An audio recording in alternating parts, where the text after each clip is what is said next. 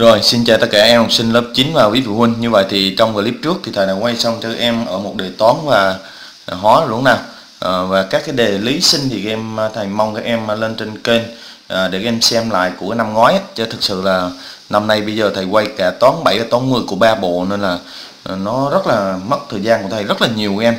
À, lớp 6 3 bộ, lớp 7 3 bộ, lớp 10 3 bộ. Rồi các bạn khối lớp 8, ờ, khối lớp 9 ờ, chưa kể là 11 và 12 nữa các em nên là thực sự là thầy rất là áp lực và công việc rất là nhiều. À, mong các em à, thông cảm và lên trên mạng chúng ta có thể tham khảo cũng như lên trên kênh tiktok đó. Với lại nhóm zalo thầy chia sẻ đề trên đó rất là nhiều. À, chúng ta lên trên nhóm zalo và kênh tiktok của thầy để các em lấy đề để, chúng ta làm và đối chiếu kết quả các em nha. À, như vậy thì trong clip hôm nay à, thầy à, sẽ quay cho các em ở cái đề toán à, thứ hai. À, đề hôm trước thì chỉ toàn là từ luận 100 trăm từ luận thì đề này nó có 5 điểm trắc nghiệm và 5 điểm tự luận các em nha. Ok. Thực sự là thầy cố gắng nỗ lực hết sức để dành thời gian cho từng khối. Thầy cũng muốn là tất cả các khối lớp là đều ờ, có đề ờ, tham khảo ờ, trước khi bước vào kỳ thi. Và thầy cũng mong cái kỳ thi này chúng ta đạt kết quả thật cao. Để khỏi phụ lòng thầy cô và bố mẹ em nha. Tại vì năm cuối cấp rồi. À, chuẩn bị thi uh, tuyển sinh là bước vào uh, ngưỡng cửa trung học phổ thông nên chúng ta phải cố gắng hết sức nha đừng để đặc biệt là đừng để bị mất gốc em. Toán lượng giác đồ lên trên chương trình lớp 10 học lại em nha. Mà các em cũng yên tâm các em ờ, khó sâu thì cũng cũng cũng nói chung cũng hên rồi. Cái khó 2k7 miếng đau đầu em tại vì ờ, nó rất là mới Cực cả các em tìm bài trên mạng cũng rất là khó. Tại sao thầy nói khó? Tại vì cực kỳ mới như thầy thì ờ, phải quay theo kiểu cuốn chiếu em. Phải quay theo kiểu cuốn chiếu nghĩa là um, không không thể cái nào có sẵn được mà phải quay cứ hết bài này tới bài kia, nên là các bạn 2k7 rất là cực. Chứ các em 2k8 thì khỏe rồi. Rồi, ok nha. Tự luận gồm có 3 bài 5 điểm. Trắc nghiệm 15 câu 5 điểm. Rồi, thầy sẽ làm trong hai clip. Clip thứ nhất là thầy sẽ làm cho các em phần trắc nghiệm 15 câu. Clip thứ hai, thầy sẽ làm cho các em ở phần ờ, tự luận. Vậy đó, ok. Ta bắt đầu câu số 1 nha. Ta đi sang ở câu số 1 câu này dễ này. Căn bậc hai số học của 4 à, nhớ này này. Căn bậc hai á nếu mà chúng ta lấy căn bậc hai không á thì chúng ta nó sẽ ra bằng số 2 nếu căn bậc hai không thì nó ra một số dương thôi chứ không có lấy số âm. Nhưng mà khi người ta nói là à, căn bậc hai số học à thầy xin lỗi căn bậc hai số học là chỉ lấy dương thôi. Em hiểu không? Căn bậc hai số học là lấy dương thôi. Nhưng mà khi người ta nói căn bậc hai thì chúng ta sẽ lấy hai đáp án đó chính là dương và âm như vậy nếu ở đây à, người ta bỏ từ số học này thì chúng ta sẽ chọn đáp án gì em? Chúng ta sẽ chọn đáp án là là C. Em hiểu không? Nếu người ta nói là căn bậc hai của 4 bằng thì chúng ta sẽ chọn là C. Nhưng ở đây người ta nói là căn bậc hai số học thì chúng ta sẽ lấy là A nghĩa là số dương thôi. Đúng không? Như vậy ở đây chúng ta chọn là A này. Đó. Phải phải phải phải, phải nhớ như vậy nha. Ta đi sang câu số 2 trong các bất đẳng thức sau bất đẳng thức nào đúng? Đúng em, em nhá. Đúng chứ không phải sai. Bây giờ chúng ta nhìn này hai nhỏ hơn căn hai. Ví dụ như ở đây chúng ta nhìn này nha. Thầy thầy, thầy làm cho các em thấy này ví dụ hai căn hai của hai đây. Bây giờ chúng ta bình phương hai vế. Để đây là mất căn thì đây là 4 mà đây là ra hai tại bình phương căn là mất thì 4 mà nhỏ hơn 2 thì cái này vô lý không thể đúng được. Thì tương tự như vậy bây giờ chúng ta bình phương đây là trở thành số mấy? Đây là trở thành 4 mà đây là 5 thì 4 không thể nào lớn bằng 5 được cũng sai. Câu C ở đây chúng ta bình phương ở đây là gì? À, căn 2 của 5 bình phương ở đây nhỏ hơn 3 ở đây bình phương như vậy 5 nhỏ hơn đây 3 bình phương là bằng 9 thì cái này là cũng là gì đúng hay là vô lý? Cái này đúng này. Tại vì 9 lớn hơn 5 đúng không? Ở đây là 4 4 bình phương. Ở đây căn 2 cũng 16 bình phương. Như vậy thì cái này sẽ là 4 bình phương là bằng 16 cái này là bằng 16 thì cái này phải là bằng. Chứ không thể số này nó lớn hơn uh, số căn 2 16 được thì chứng tỏ đáp án chính xác ở đây là đáp án C này. Ờ, cái này cũng vô lý này. À ABD là, là vô lý còn C đây là đúng. Ok ta sang câu uh, số 3 nha thầy gấp tờ giấy lại nha. Ở đây căn bậc 3 nghe mà. Ở đây căn bậc 3 của 27 này. Mũ à, ờ, căn bậc 3 của âm 125 này. Rồi em nhìn nè. Ờ, à, 27 căn bậc 3 thì à, chúng ta đưa về 3 mũ 3 này. Trừ này. À, căn bậc 3 ở đây âm 125 thì chúng ta đưa về âm 5 mũ 3 này. Có đúng không?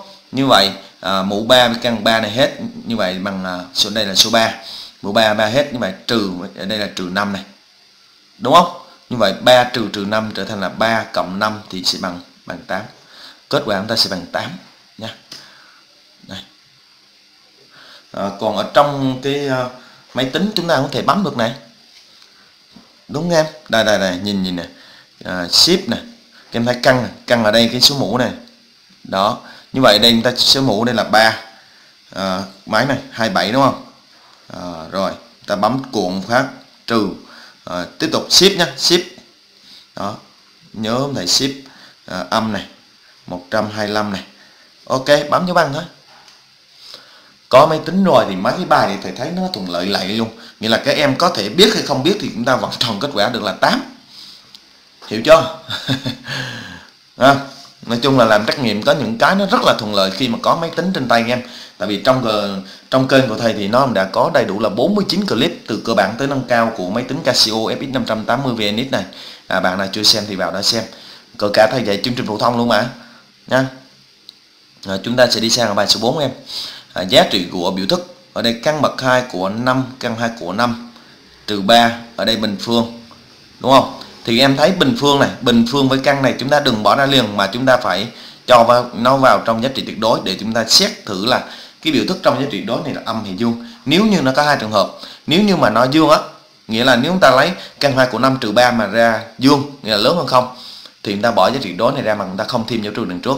Còn nếu như căn hai của 3 như vậy chứng tỏ chúng ta sẽ so sánh căn hai của 5 so với 3 thì em thấy này, đây, chúng ta nhìn câu 2 này, căn hai của 5 nhỏ hơn 3 nhỏ hơn 3 thì chứng tỏ suy ra ở đây à, căn bậc 2 của 5 chúng ta chuyển số 3 này qua. Trừ 3 thì chắc chắn nó sẽ là nhỏ hơn không? Nghĩa là cái này âm. Cái này âm nên chúng ta khi bỏ à, giá trị đối ra chúng ta phải thêm dấu trừ đằng trước. Đó chúng ta phải hiểu như vậy hiểu sâu như vậy đó. À, như vậy ở đây sẽ bằng âm căn 2 của 5 cộng cho 3 được không? Được không nào? Hay nói cách khác cái này chúng ta viết số 3 lại trở thành là 3 trừ căn 2 của 5 đây chính là kết quả cuối cùng này.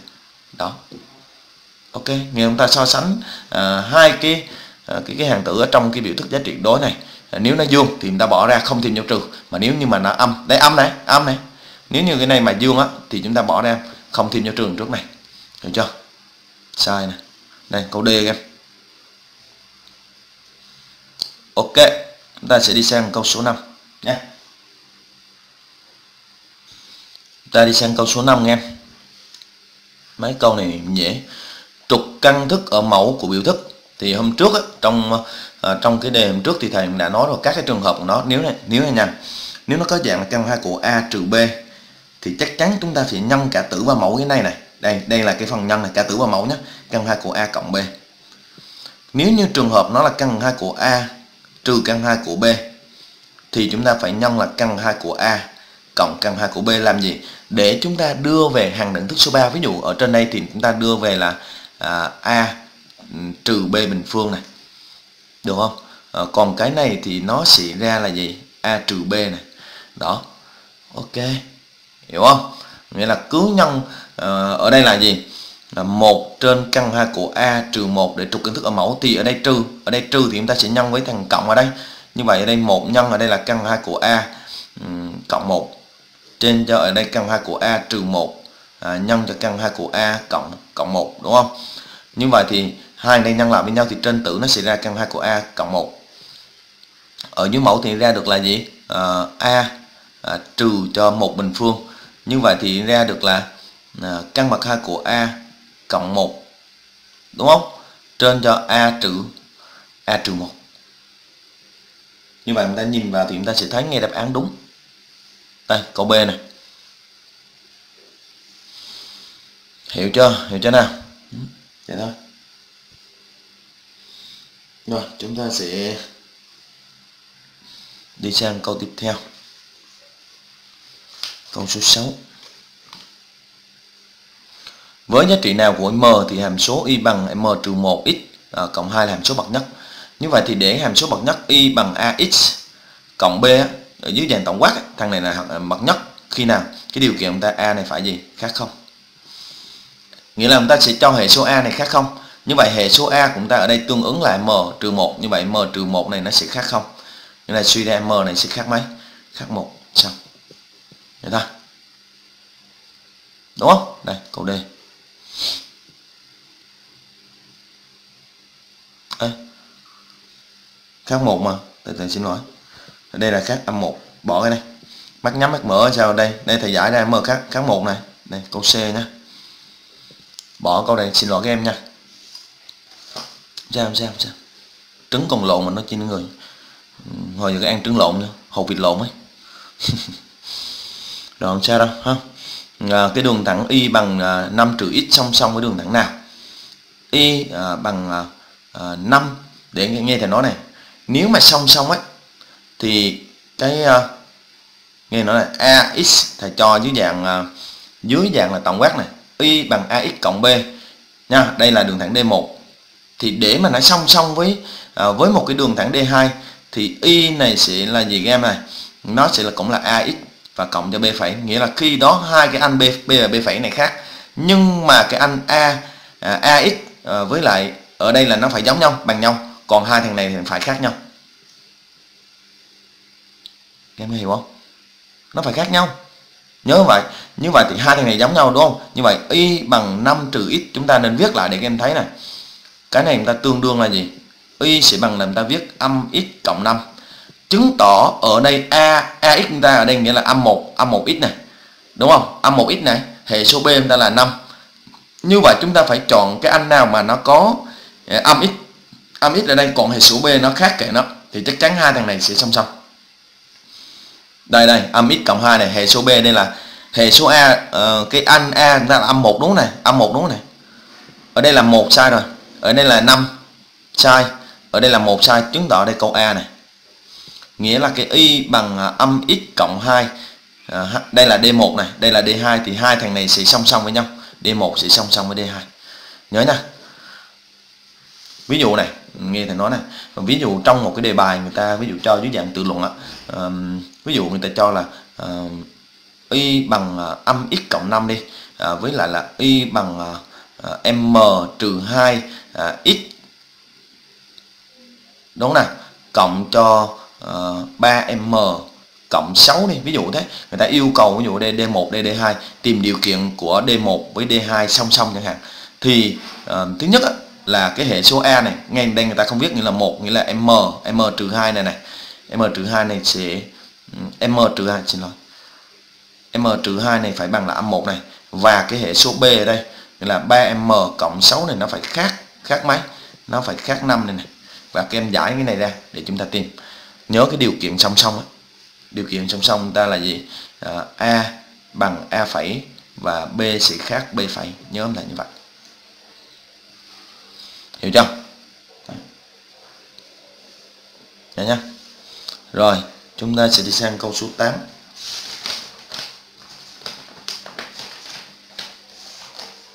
ta sang câu số 8 em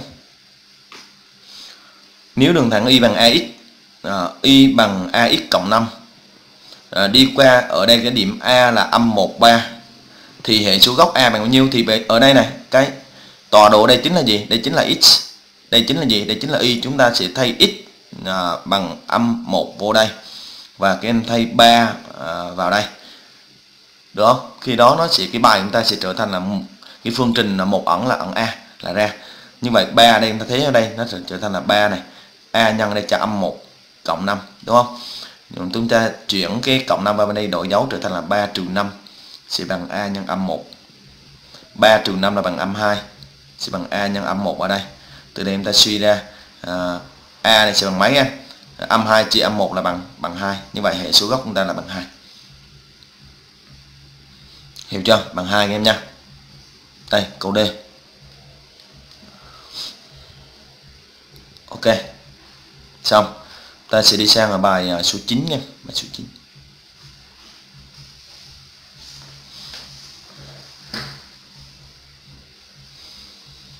cho cái tam giác ABC vuông tại A. A B C à, vuông tại A đúng không? Ở đây là cái đường cao AH đây đường cao AH H. Thuộc à, là BC trong khi đó người ta cho các em là cái đoạn à, BC chúng ta đây là bằng 5 cm và AB AB chúng ta đây là bằng mấy? AB đây là bằng 4 cm thì ở đây người ta hỏi các em là thì độ dài à, đoạn thẳng BH BH tính cái đoạn này này tính độ dài cái thằng BH này là bằng bao nhiêu? Đúng không? Đó. Ở đây chắc chắn chúng ta phải áp dụng cái à, hệ thức lượng trong tam giác vuông này đúng chưa nào? Còn nếu như chúng ta không không thích áp dụng hệ thức lượng ờ, trong tam giác vuông mà các em nếu các em tính được HC để các em tính được HC thì à, chúng ta sẽ à, làm cái gì các em? Chúng ta lấy BC trừ đi cho HC tìm ra BH nghĩa là cái bài này nó cũng có nhiều cách làm chứ không phải là một cách nha. Ừ. Như vậy thì đối với cái bài này á thì ờ, thầy sẽ tính như sau này. Đầu tiên thầy sẽ tính AH trước. Tại vì sao này? Chúng ta có công thức này à, độ dài đường cao AH bình phương. Đúng không? AH bình phương thì có phải là bằng à, tích của cái độ dài của cái cạnh huyền này nó chia ra đó chính là BH à, nhân cho CH đúng không? Ở đây chúng ta cần tính B, à, BH thì ở đây chúng ta cần tính pH thì chúng ta sẽ à, tính được là pH mà chi? Ở đây chúng ta chưa tính có được AH thì chúng ta cũng không nên sử dụng công thức này. Thôi cứ đóng khung ở đây trước rồi. Chúng ta áp dụng công thức này ra luôn như cần gì ở đây em đúng không? Ta có đây là AB bình. AB bình này thì cạnh tương ứng của nó rơi xuống đây chính là cạnh đường hình chiếu của nó là BH này, đúng không? Như chúng ta có rồi BH sẽ nhân cho BC ôi xài phải nào? Như vậy từ đây chúng ta suy ra BH sẽ bằng AB bình chia BC như vậy thì AB bình đây là 4 bình phương chia cho 5 như vậy đây 16 phần 5 ha. Em hai. 16 phần 5 nha. Là 6 chia cho 5 3,2 ở đây bằng 3,2 em. 3,2 không không không. Nghĩa là bài này có nhiều cách làm nhưng mà cái cách đấy là đơn giản và nhanh nhất rồi đó không cần làm gì nữa. 3,2 ha. Đây em câu C. Được chưa? Câu C. Rồi tiếp tục. Ta đi sang ở câu B. Dạy nhiều lớp quá nó cũng loạn em. Nó nó nó nó cũng bị rối á.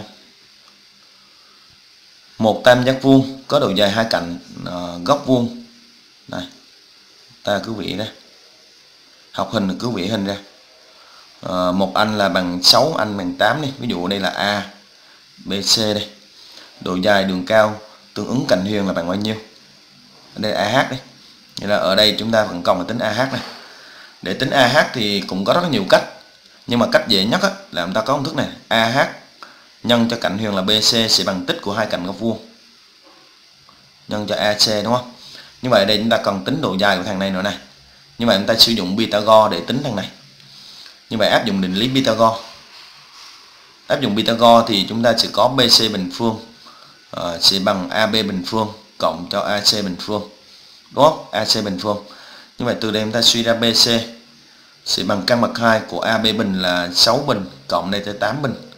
Thì cái này sẽ bằng một căn bậc 2 của 100 đúng không?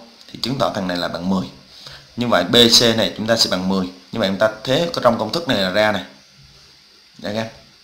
Như vậy thì đường cao của nó AH thì sẽ bằng là AB nhân AC chia cho BC như vậy đây sẽ bằng AB chúng ta là bằng 6 nhân 8 chia cho 10 như vậy 6 nhân 8 bằng 4 nhân 8 chia 10 là bằng 4,8 xong hiểu chưa? Đơn giản gọn nhẹ như vậy thôi. Không có gì khó cả em nha. 4,8 đâu rồi? Câu số 14,8 đây này câu B ta sẽ đi sang ở câu 11 11 em. Cho tam giác ABC có góc A bằng 90 độ. Ờ, cạnh AB là bằng à, mấy đây.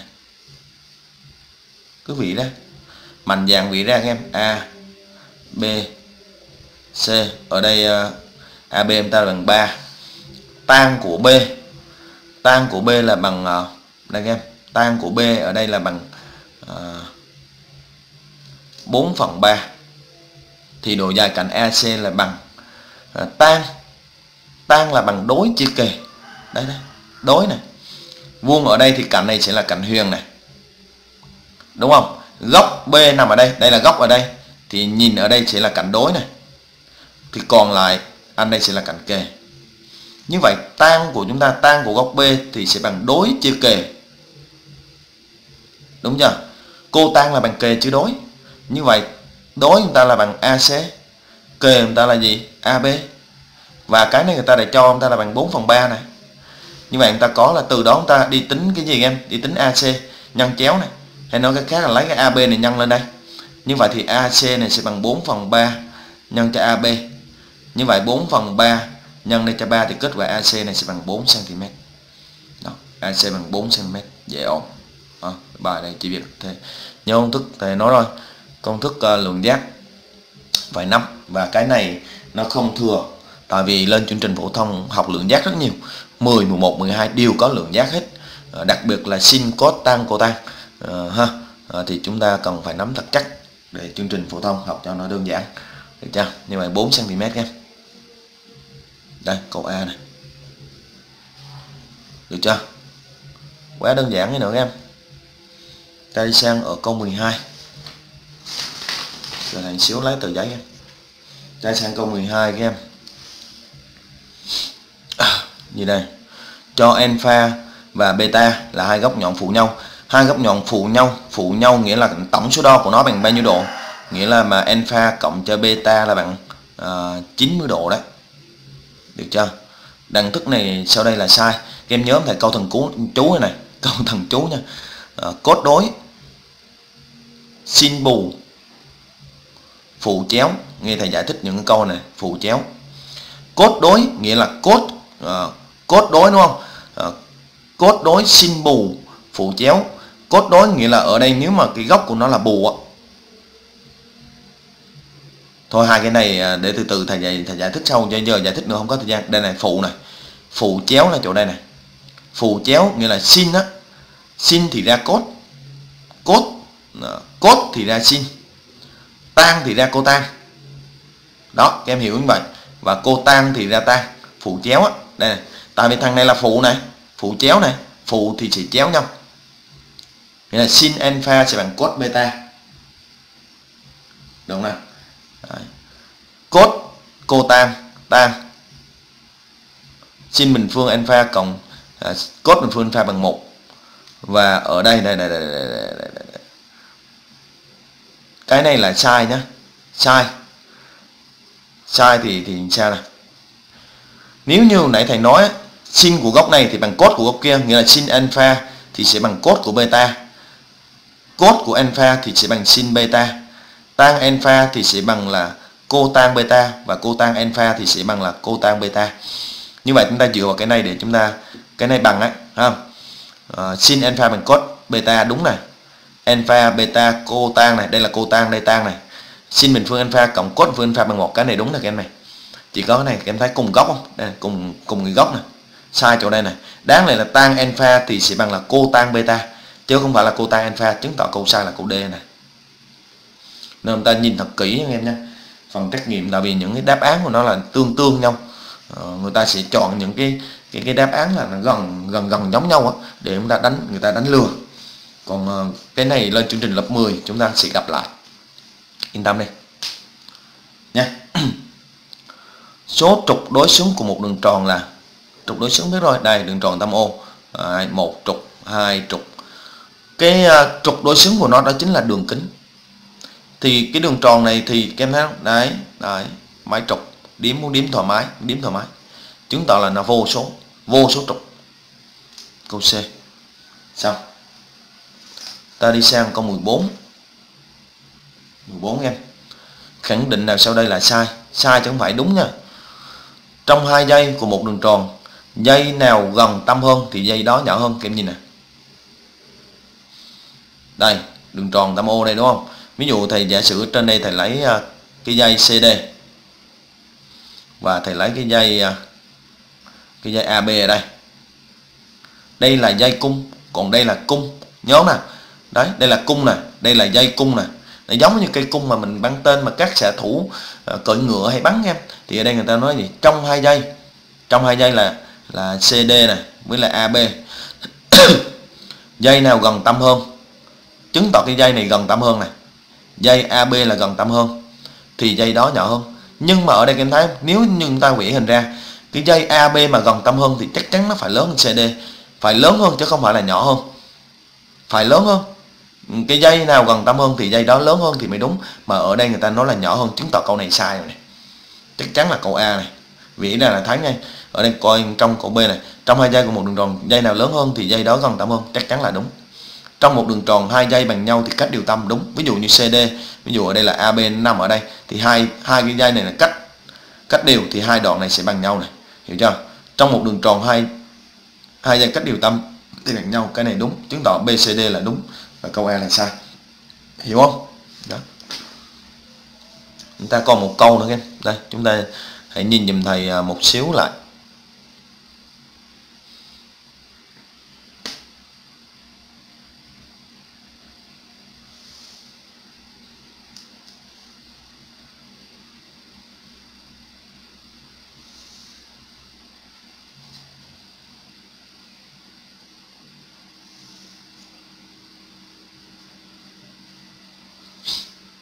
được chưa ta sẽ đi sang câu tiếp theo.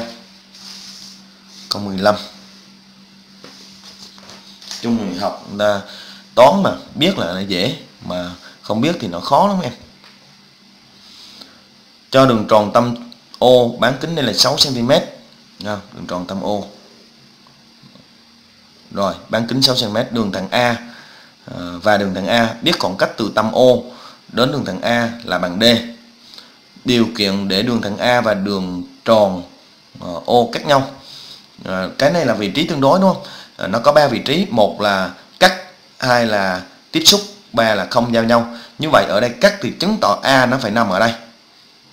À, đúng không? A phải nằm đây. Mà từ đây cho tới đây á thì là cái bán kính nó ví dụ như ở đây điểm A đi thì cái đoạn OA này là bằng 6 chứng tỏ là cái khoảng cách từ O cho tới đây ví dụ là B thì cái đoạn này là bằng D đúng không? Thì chứng tỏ D này nó phải nhỏ hơn.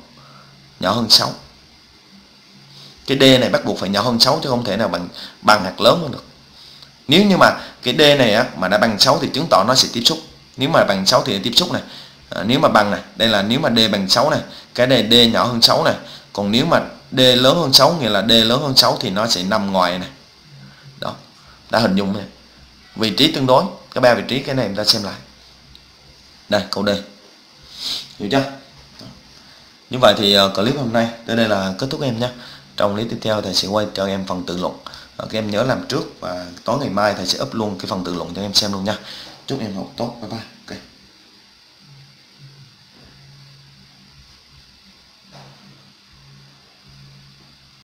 Rồi, xin chào các em.